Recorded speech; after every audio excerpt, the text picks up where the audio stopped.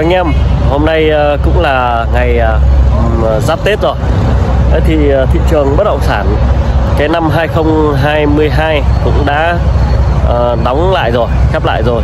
Thì năm nay đã bước ngày hôm nay là ngày của năm 2023 rồi. Chỉ còn Tết âm nữa thôi. Thì năm nay cũng rất là cận. Ngày giữa Tết âm và Tết dương chỉ cách nhau một tháng. Thành ra là bây giờ nhà nhà người người đổ xô đi sắm Tết thì ờ, đối với rất là nhiều gia đình, nhiều anh em môi giới bất động sản thì năm nay cũng ờ, rất là nhiều anh em kêu với tôi rằng là mất tết. Mất tết ờ, bởi vì là vay ngân hàng nhiều quá.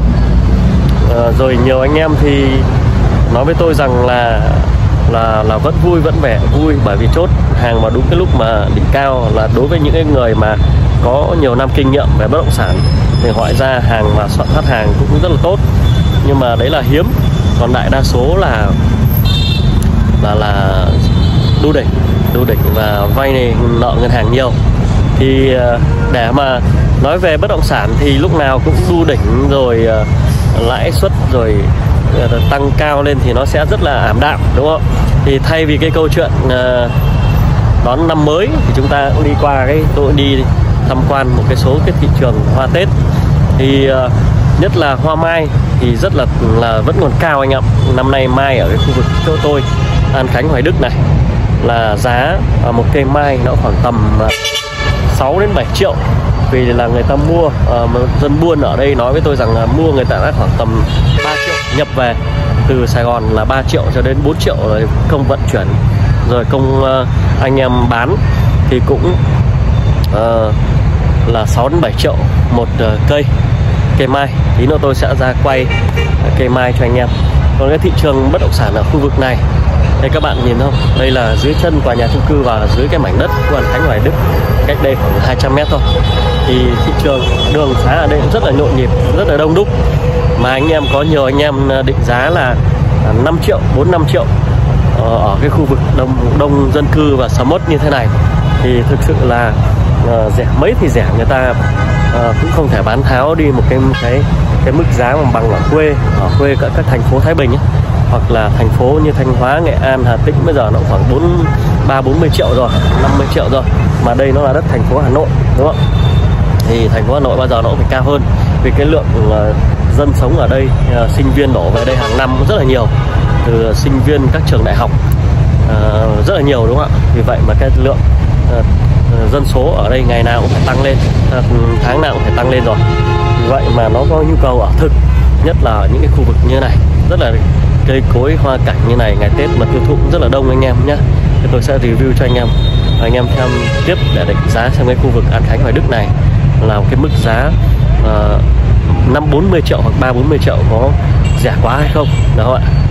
Đây là những cái cây khế này. Cây khế này là khoảng tầm 20 triệu một cây khế này. Đấy, đây cặp đôi luôn. Cặp đôi cây khế là 20 triệu đây nhá cặp đôi này. Đấy, hai cây hai cây khế. Đấy. dưới chân tòa nhà chung cư luôn nhé và đây là ngân hàng. Ngân hàng Agribank dữ liệu ngân hàng. Còn cây trà này nó khoảng 25 triệu rất đẹp. Đẹp đúng không? Đây là ngày Tết. Đây là ông chủ. Rất nhiều hoa Tết. Đây khách rất đông này.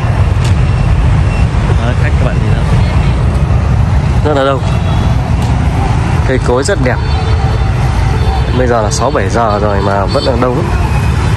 À, rất là nhiều.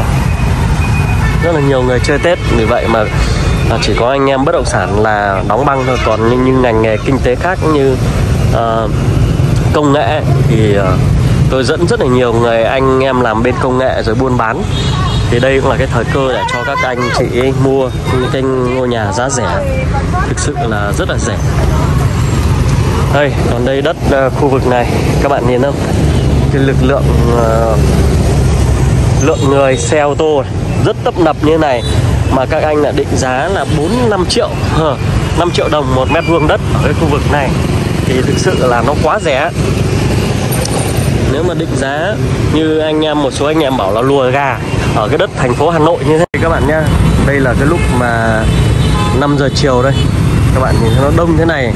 Mà các bạn bảo là ba bốn mươi triệu bằng cái quê đất ở vùng quê của các bạn thì đánh giá cái đất thành phố Hà Nội này thì nó quá rẻ nó siêu rẻ như vậy thì rất là khó để cho những cái chủ nhà người ta thực sự là nếu mà khó khăn đấy người ta bán đi thì người ta cũng phải được giá không thể là được với cái mức giá là à, 5 triệu được. Như vậy thì anh em ừ, rất là khó để mà mua được những cái bất động sản giá rẻ.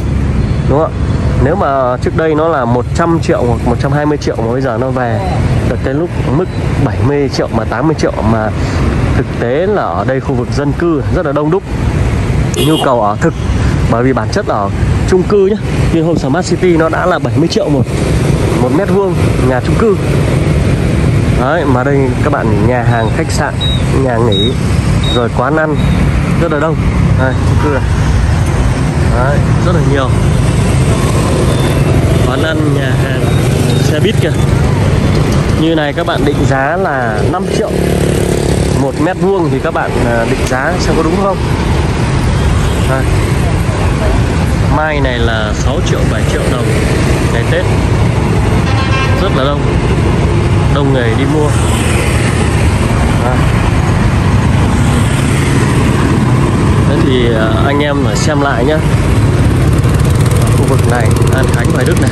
Rất đông quất thị trường quất thì năm nay có vẻ là là cũng vẫn đông nhưng mà đến bây giờ cũng cận Tết rồi nhưng mà hôm nay mới là gần 20 mới có 18 17 18 thôi. Đây, rất là đông. Quán, quán bia kìa các bạn nhìn đâu? Quán bia bên kia nhá. Tiên lượng ô tô nhìn không đây vành đai 3.5 này Đấy, vành đai 3.5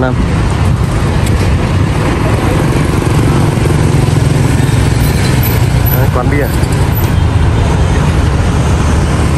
Đây ngân hàng An Bình Banh nhé. Ô tô đây gấp đường. Mà các bạn định giá ba bốn mươi triệu thì có tội cho những cái người mà họ vay ngân hàng mà họ muốn bán đi không? Đấy. Thực sự nếu mà đối với lại những cái vùng sâu, vùng xa là chúng ta ví dụ như là 100 triệu bây giờ bảo 4 5 triệu thì ok, nhưng ở khu vực này nó đông đúc như thế này. Quán cà phê nườm nượp người, xe cộ đầy người luôn. Như này à, chung cư ở bên Vinhome Smart City nó đã định giá 70 triệu, nó đang bán với giá là 70 triệu rồi. Mà bên này nhà nhà đất mà các bạn bảo mua 50 triệu à 5 triệu. Các bạn có có có ai bán được cho bạn không các bạn vui lòng comment bên dưới nhé.